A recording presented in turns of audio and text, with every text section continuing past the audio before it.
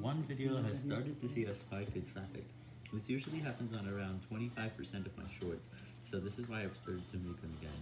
And also, because of this, I am going to make 8 of them, or between 8 and 12 shorts a day, not just 5. And this increases the chance.